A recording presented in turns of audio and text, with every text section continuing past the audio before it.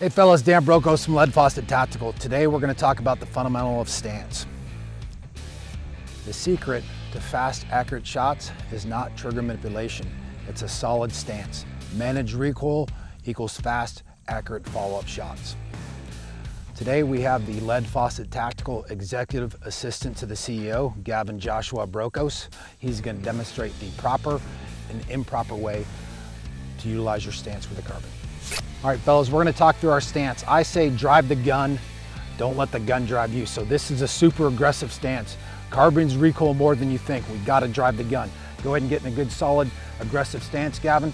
Start from the ground up. His feet, good shoulder width apart, aggressive. Our weight is on the balls of our feet, not on our heels, fellas. Go ahead and lift your toes up. That means he's on his heels. Go ahead and lift your heels up, Gavin. That means he's on the balls of his feet and that's where our weight should be. Slight bend in the knees to absorb some shock, especially when we're moving. We'll work our way up here. He's got a good cheek to stock, his support arm as far as he can get it, and he's pulling back in like this. This arm is nice and loose. Good cheek to stock. The key feature here is getting a weight on the balls of your feet and creating a counterbalance forward. Go ahead and relax. All right, we're gonna show you a stance and some of the mistakes we've seen with a stance. Go ahead and present the weapon. Looks like he's in a solid stance. I'm just gonna come up and push on him and replicate recoil. Look what happened. That's how much a carbine recoils. His toes came up and I seen the buttstock move on his cheek. That means he's not driving the shit out of that gun. Get another stance, Gavin, and drive the shit out of it like I taught you. Now I'm gonna replicate recoil. The weight is on the balls of his feet. He's pulling back vigorously right here. His knees are bent. He's got a good cheek to stock.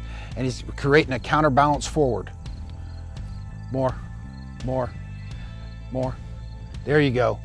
Counterbalance forward, weight on your feet. Less recoil, fellas. Faster, accurate follow-up shot. Stance is very important. Drive the shit out of this carbine.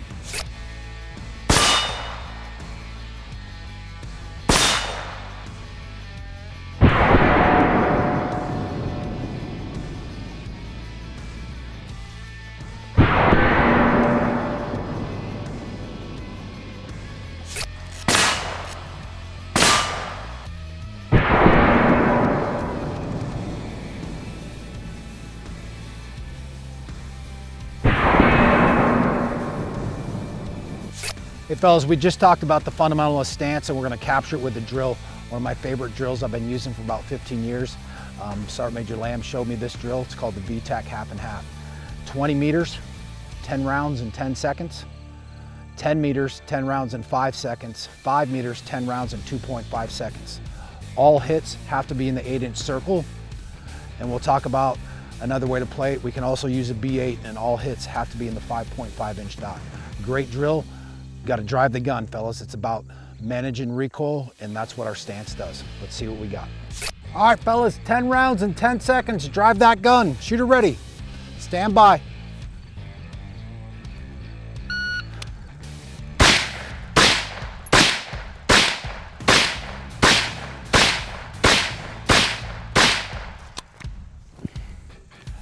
Eight seconds.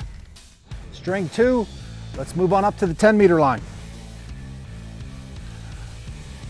All right, fellas, string two, 10 rounds in five seconds. Got to drive that gun. Shooter ready. Stand by.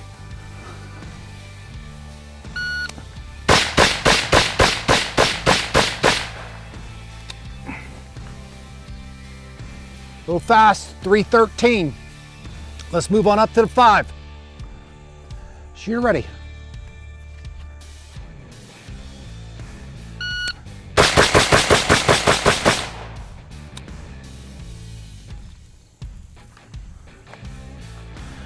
All right, fellas, we just talked about the fundamentalist stance and captured it with our drill. 30 shots. I got 30 in the eight inch circle. Nice tight shot group. I'm driving the shit out of that gun. Don't let it drive you.